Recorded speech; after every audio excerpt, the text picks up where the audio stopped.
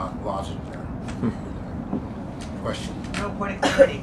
Point of clarity. Isn't, is it not the case that when we talk about Kant in the categorical imperative, and we are talking about his, um, we have an internal recognition of the goodness of law, that it is only when we feel that those laws were right and justly made.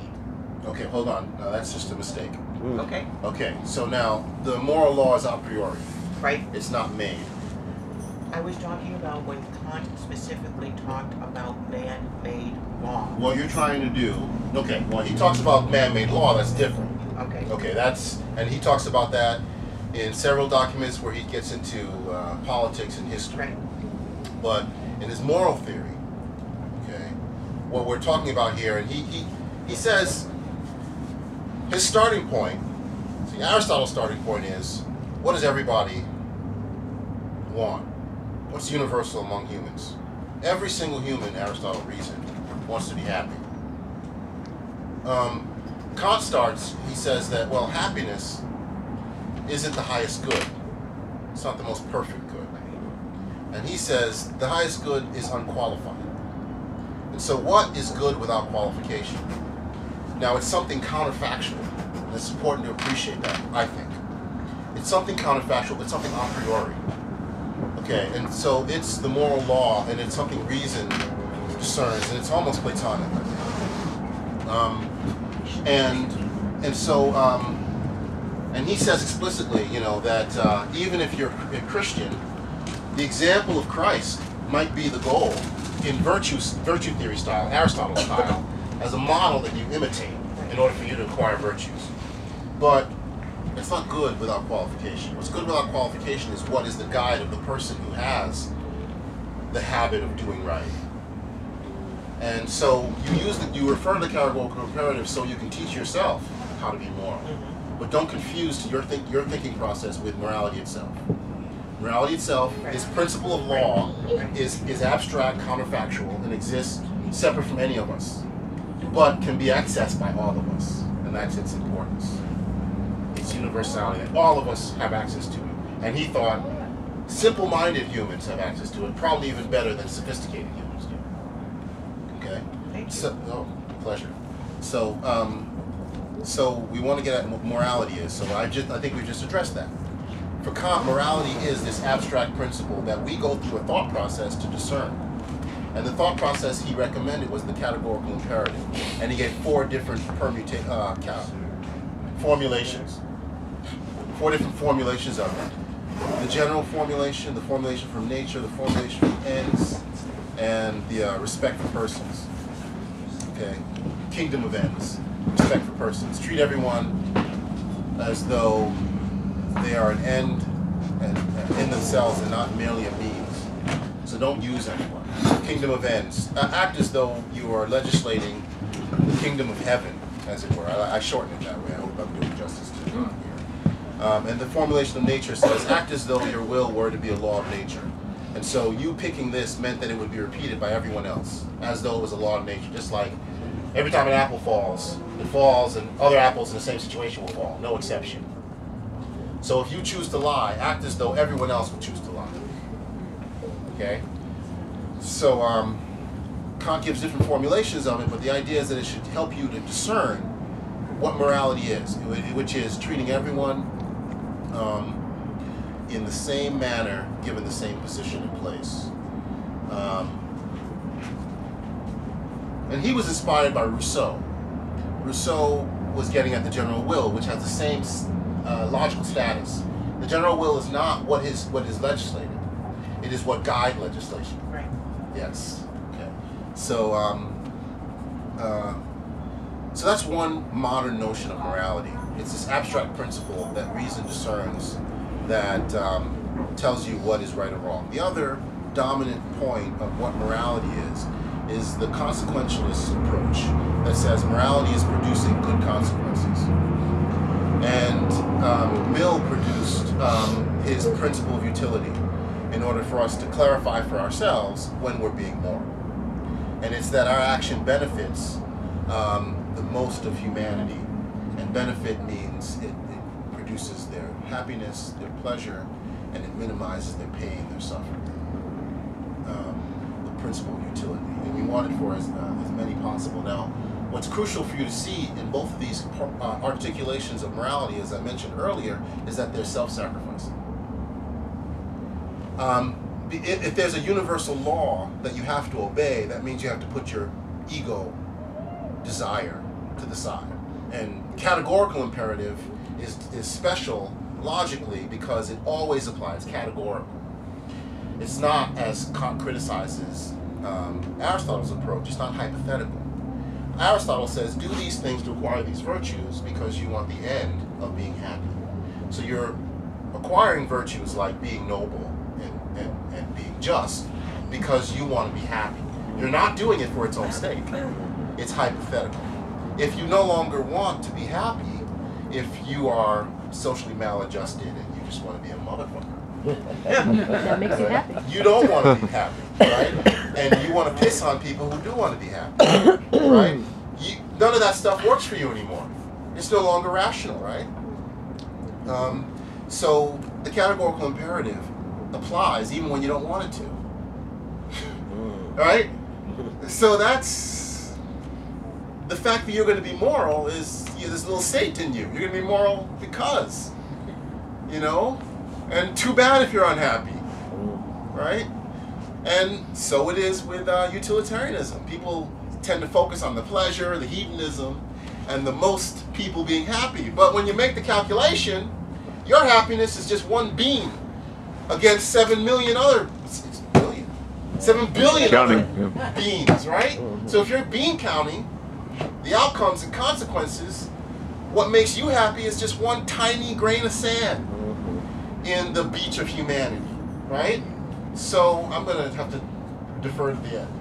I, I just have, I have a question. Oh, but to the end. So the I'll have a Q. We'll have a Q and Okay. A. We'll have a Q and A. So, so morality is self-sacrificing. Okay. Now, here's the um, universal history piece and the narrative of justice. Okay. So universal history is um, um, a dialogue, uh, a discourse, I should say, that developed in Europe, and we've had a few. Uh, uh, milestones in its development. Okay, so one was uh, when Vico produced his book in 1725 on learning, and he talked about how we are historical beings, and he developed a kind of universal history, a story of all humans, and it articulated um, uh, a view of human nature that was universal but it, he articulated two very important things. One, that we have a universal nature that's shared, and two, that we're historical beings. Okay? Now, the next person, the next luminary to address universal history is Immanuel Kant. Uh, oh, excuse, I'm wrong. I'm, I'm saying that wrong. It's not Kant, it's Herder. Okay? Um, Johann. Um, what's Herder's full name? I'm sorry, H E R D E R, Herder. Very important in the um. Uh, he's he's important for so much. I'm not gonna. His he he he's written many things on universal history. He started writing his ideas for universal history before Kant produced his more famous idea for universal history from a cosmopolitan point of view. Uh, and he reviews Herder's work in um, shortly after he produces the um, his ideas of universal history from a cosmopolitan point of view. Now, Herder adds to um, complicates what was achieved by Vico, and Herder says that we have a universal human nature, and there can be a universal history. But Herder talks about human nature as itself being a historical pro- product. So there isn't this easy assumption that all humans share the same human nature. Because your human nature is affected by history, because your nature is a historical product, there are diversions in what we can know and understand as human nature. And so Herder develops this idea that we have a universal nature, But because of the diversions of culture, right, in different human societies, because of different human histories, there has to be a process that he called feeling in. This long process you had to go through so that people could get to from where I'm at in my, let's say, English culture to where you're at in, let's say, your Middle Eastern culture. Or if I were going to get to, I have to go from my Middle Eastern culture to the African culture.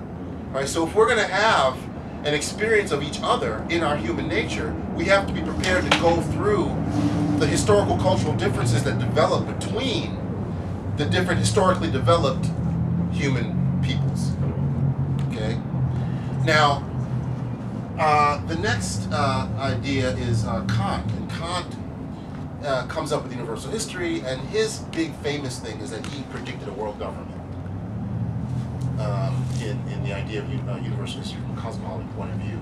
And this cosmology spirit is important, but I'm not going to talk too much about it. But it's this uh, ability for you to see past your nation, to see an emerging culture developing that uh, doesn't just suit your nature, your, your nation, but is really about um, a cosmopolitan culture that's shared. Um, so Kant has a theory of human nature as well. But what's relevant here is that Kant had a theory of race, and it was very racist. And what Kant really had in mind about universal uh, history was, he, more or less, he assumed that Europeans were going to, as he put it, give law to the rest of mankind. Okay, and in many ways he was prophetic, because Europeans did indeed um, establish a system of law, system of governance, and uh, networks of power that went on in the coming centuries to conquer the planet. Make no mistake about it. Now, the next person for universal history is, is, is, is Hegel.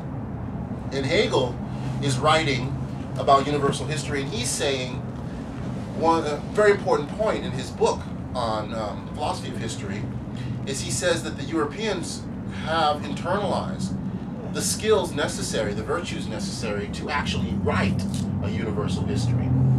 Because many Europeans have the training to be good reporters. You see, it's like if you want to do good science, you have to get good evidence collection, right? So in order to write good universal to do a universal history, you have to have people out there in a position to acquire the knowledge of the world so that it's suitable for constructing such a narrative that will be accurate and academic, you know, worth worth your time because it's going to get you the truth. Okay, and he so this is another important idea and and, and, and fact that if we're going to have a universal history, people have to be armed with uh, methodologies and tools that we have universal agreement about. Okay. Now the next important person along my story about universal history is um, W.E.B. Du Bois. Du Bois um, in an article called The Conservation of Races, um, give much very celebrated um, social historical conception of race um, in contradistinction to the biological physical conception that uh, Kant and Hegel had. Um, now, in Kant and Hegel's ideas, the races were hierarchically ordered. Um, now, the way Hegel put it was he said that the only historical people were the Europeans. He said that the Asian people, Asiatic people, weren't fully historical. They were mired in custom and they tended to be have a kind of circle, cir- circular history. They didn't innovate. The Africans and the Native Americans, he thought, didn't even have the culture the Asiatic peoples had. They were more savage, and uh, so they were prehistorical peoples. So the only real peoples that existed for, for Hegel at that time were the Europeans. Now he presented something that he his philosophy of history was a development of freedom, and he saw, and which is kind of his his phenomenology. Um, so people are um, uh, historical beings, and they will realize their nature historically, and when we realize our nature, we'll come to, as it were, an end of nature. Uh, sorry, an end of history. When we realize our natures, by developing what's possible in our natures historically, we'll come to a point which will be the end of history. Okay. Now, um, Du Bois, in his article, Conservation of Races, refers to something like an end of history moment. He says of a far off event that we're all working towards when people of the different cultures of the world, the different races of the world, will be able to contribute to a world culture and it will unite us. This is, I think, the idea of universal history that we're working towards right now. I think that we've had a development of this idea, and I think that Du Bois has captured the stage of that idea today. I think that's where we're at. So he famously said, the problem of the 20th century is the problem of the color line, right? I'm going to say to you that the problem of our future age, of our coming age, starting tomorrow, right, 2012, when we'll be at the end of one age and the beginning of a new age, I'm predicting, right, is the achieving of a universal history, of a story of the people in which everyone will be able to see themselves in the history of. We'll have a world history that doesn't privilege some set of people as the victors and